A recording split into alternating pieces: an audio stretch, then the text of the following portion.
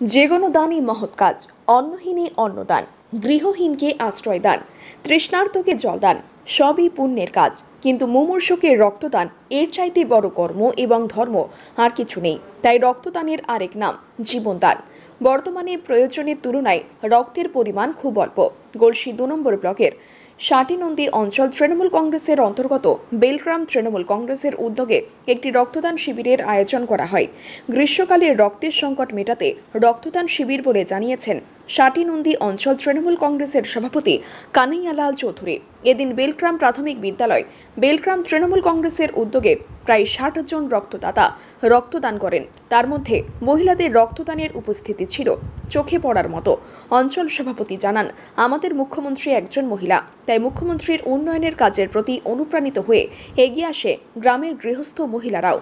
এই রক্তদান কর্মসূচি অনুষ্ঠানে উপস্থিত ছিলেন গলসি দু নম্বর ব্লকের তৃণমূল কংগ্রেসের সভাপতি সুজন মণ্ডল, পঞ্চায়েত সমিতির সভাপতি বাসুদেব চৌধুরী, অঞ্চল সভাপতি কানাইয়ালাল চৌধুরী, ষাটিনন্দী গ্রাম পঞ্চায়েতের প্রধান বৈশাখী কুইরে এবং যুব সভাপতি হেমন্ত পাল সহ এলাকার তৃণমূল কর্মীরা।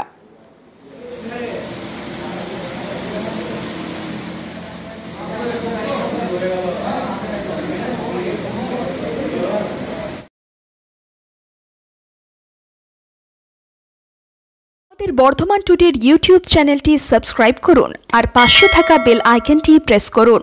এছাড়াও ফেসবুকে কি আমাদের পেজটি লাইক ও ফলো করুন আর পেয়ে যান সমস্ত আপডেট